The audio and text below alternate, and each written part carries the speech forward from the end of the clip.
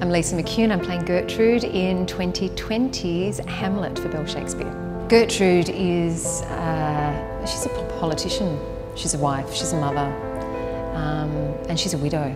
It's always terrific when you come to do a play because you actually get to sit and you talk and it's kind of like therapy about character.